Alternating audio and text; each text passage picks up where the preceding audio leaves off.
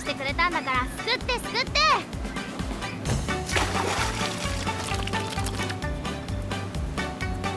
いい時に島に来たなお前は。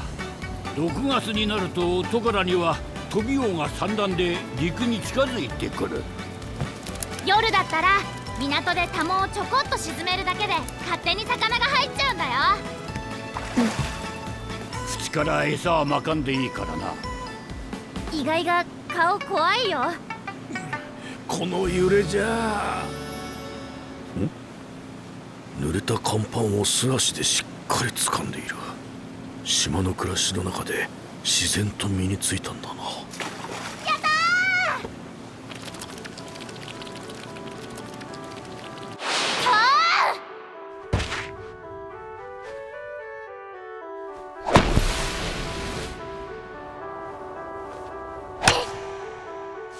トンボ。お前高校はどうするんだ？島には中学までしかない。高校には行かない。ずっと島にいる。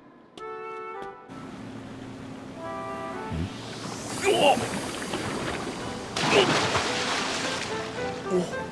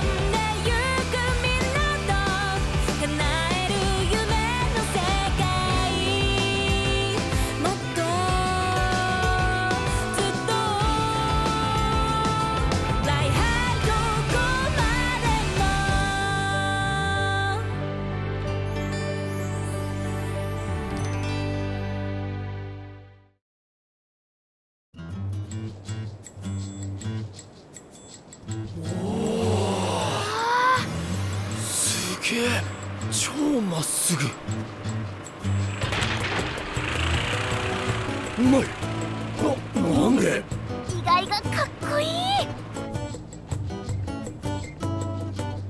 どこで覚えたんです？え？グリーン狩りは全く初めての人間にできるもんじゃありませんよ。ちゃあちゃあああいや昔ちょこっとゴルフ場でバイトみたいなことをしたことがあって。いやーほんとすごい意外がの打つボールはもっとすごいんだから。みんなびっくりするよ。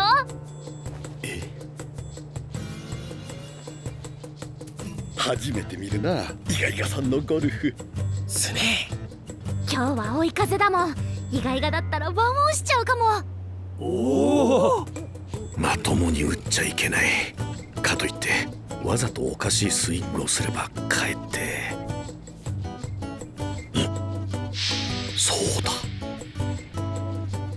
の逆だ。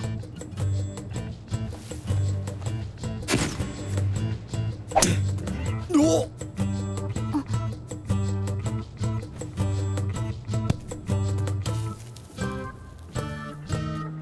すげえ。バンカーの手前まで飛んだかね。なるほど。トンボが言った通りだ。どうも。違うもん。お？こんなんじゃないもん。意外がどうして？おほらトンボ。お前の番だぞ。トンボ？私嘘つきは嫌いだ。嘘つきって？意外がはすごいって。みんなに言ったのに。言ったのに。ナイスショナイスショうんん無垢だな。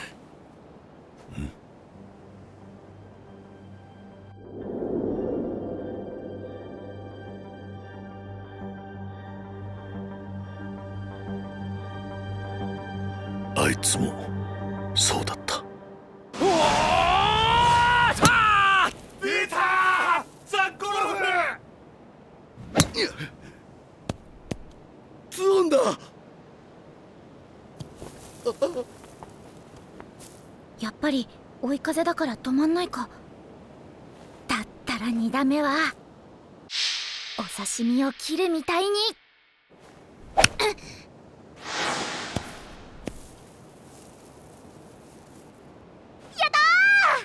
ああ。ランを抑えられるようにフェースをいくらか開いてカットスピンで攻めてきやがったか。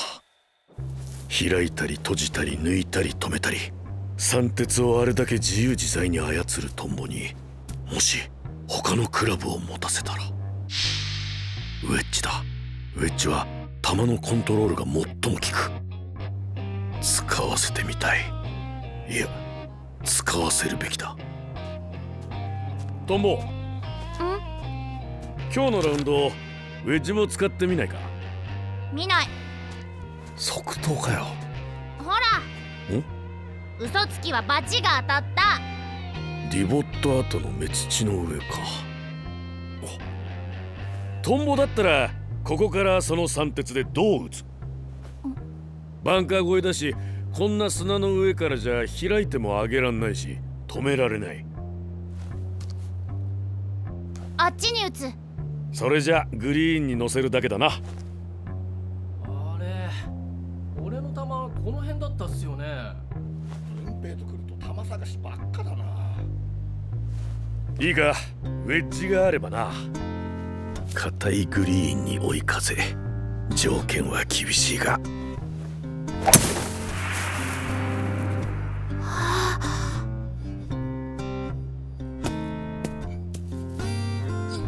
止まってくれたか。わざとダフらせたの？ああ。三鉄だとここからどうしても3打はかかる。けどウェッジなら2打で上がれるチャンスも作れるんだ。今度はトンボが打ってみろ。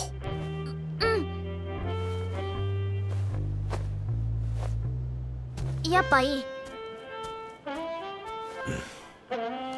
決めた。何としてもトンボにウェッジを使わせる。はあこれで全部だな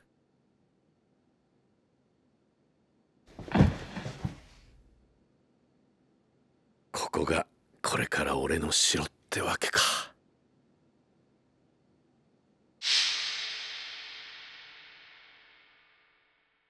やっぱいい。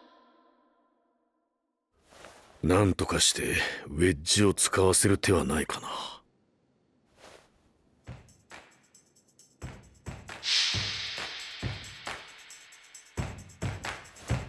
いい手を思いついたぞ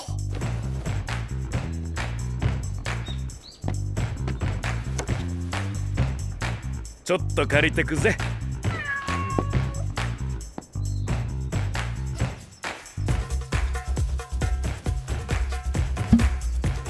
カッターで切っちまえば簡単だけど。お父さんの残してくれたクラブ。そういうわけにもいかねえもんな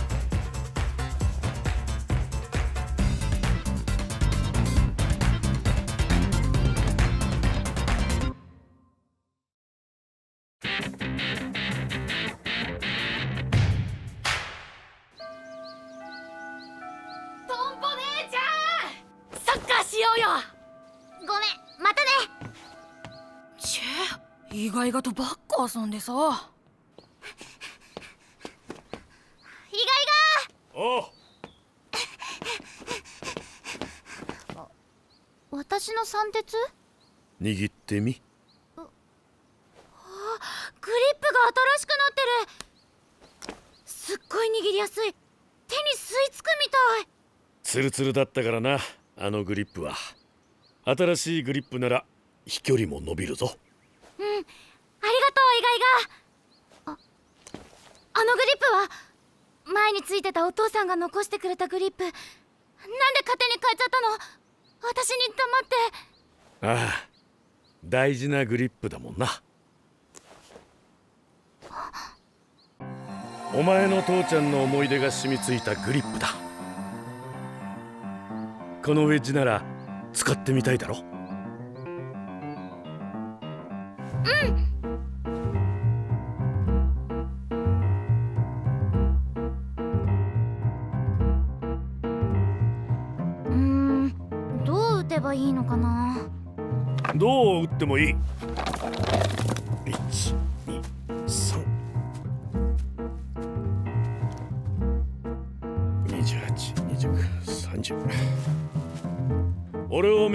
ってみな。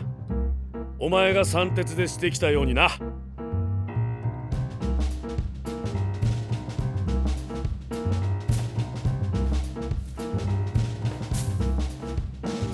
ゴルフってのはどんなスポーツよりもああしちゃいけないこうしちゃいけないダメダメ尽くしの教えを強いられる。でもトンボを見て思った。本当は何をしたっていいんじゃないか。っゴルファーは皆いいスイングを作ろうとする。トンボは球を作ろうとしている。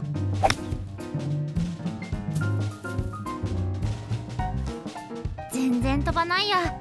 それに転がんない。フェースに角度があるからな。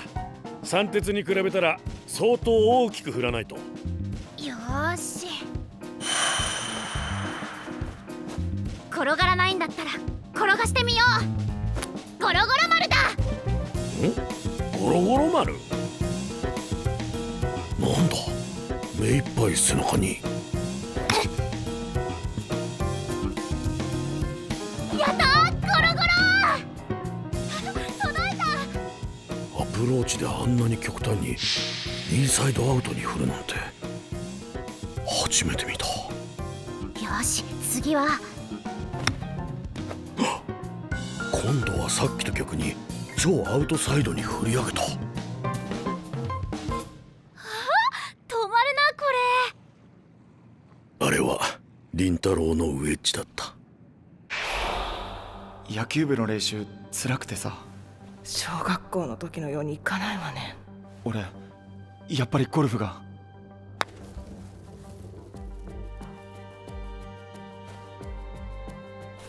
お父さん僕にゴルフを教えてください。プロゴルファーになりたいんです。しばらくはこれ一本だけで練習するんだ。他のクラブは握るな。振りかぶるのも振り抜くのも腰より上の高さに振り上げてはならん。はい。100発撃って90発はあの円の中にキャリーさせること。100発中90発。それができるまではこの練習のみだ。はい。プロゴルファーなんてどうせ野球部を辞める口実に決まってる。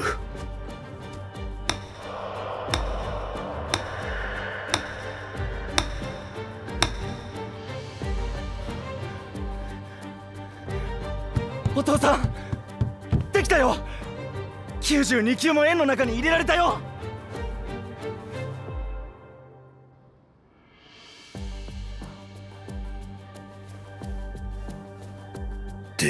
わけがない。初心者にしかもこんなベアグラウンドで。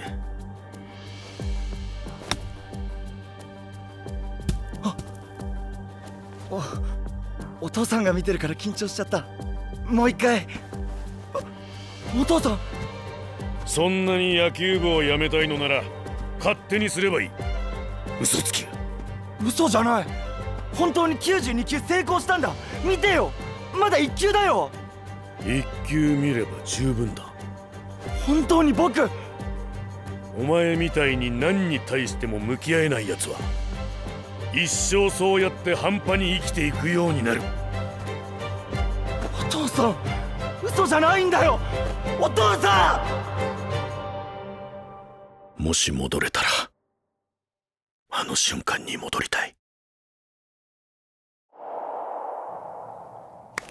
思えばあの頃自分がプレーで結果を出せない焦りと不甲斐なさから苛立ちを凛太郎にぶつけてしまった。向き合っていなかったのはきっと俺の方だったんだ。凛太郎はゴルフをやめた。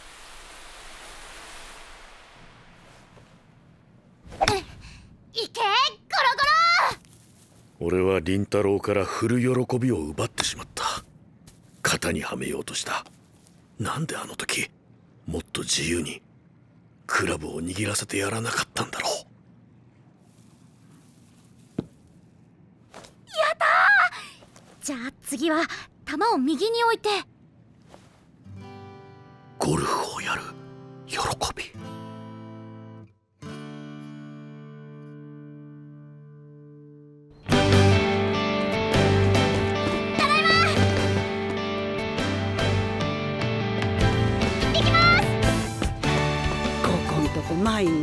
あの調子。最高の遊び相手ができたもんね。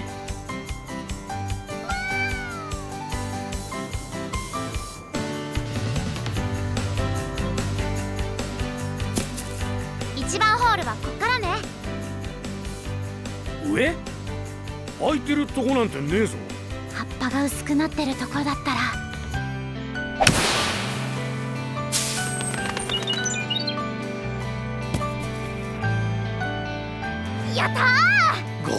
だな。さっきの鳥か。ー赤ひげだよ。赤ひげ？トカラ列島でしか見られない鳥なんだよ。村のシンボルにもなってる。赤ひげはトカラの海に沈む夕日が好きでトカラにしか住まない。だから茜色をしている。トカラの夕焼けに染まったんだって。トカラの夕焼け色かが教えてくれたんだ。せっかくウェッジがあるんだ。三鉄じゃできない遊びを教えてやろっか。あ。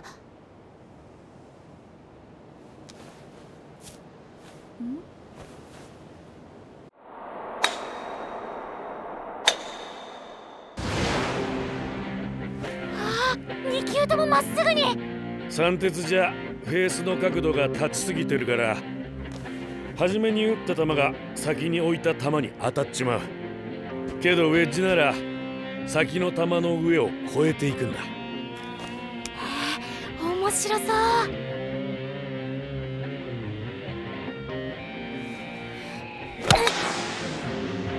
あ先の球だけ左に。手前の球を打った後フェースはどうしても左を向いていく。これはできるだけ長いインパクトゾーンを作るための練習なんだが。よーし。トンボには純粋な遊びだな。さっきよりはマシかな。それにしてもこれを初めてやらせると先の球を空振りしてしまうものも少なくないのに。もう一回。ゴルフを吹きさらしのこのコースで覚えたトンボは低い球を打つことに長けている。球をしゃくるとかすくうという動きがスイングの中に一切ない。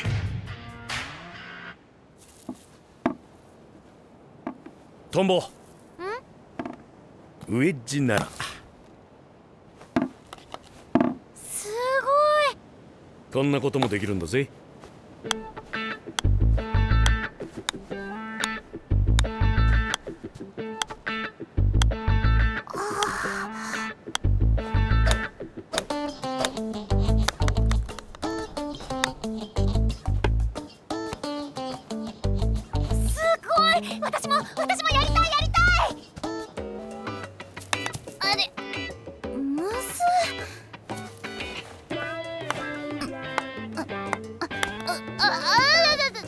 ェッジでのリフティングは自分で打った球を自分で拾うようになると自然に覚える。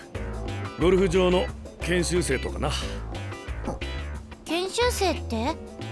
ゴルフ場で働きながらプロゴルファーを目指す連中のことだ。ふん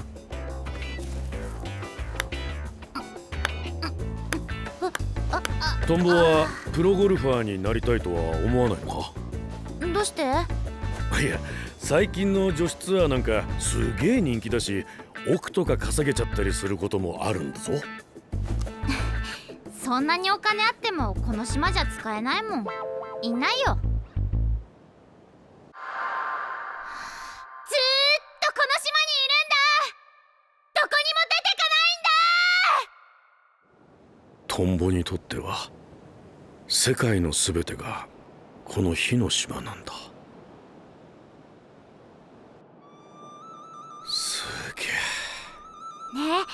綺麗でしょ？海に溶けるようにして太陽が沈んでいくみたい。ああベンチを置いて正解だな。もうゴルフはできまいと覚悟していた。なのに俺は毎日ゴルフをしている。ライバルや敵はいたが仲間と呼べる相手はいなかった。けどゴルフ仲間が俺に初めてできた。息子より年下の仲間だがこんな穏やかにゴルフができるなんて。こんなにゴルフが楽しいなんて。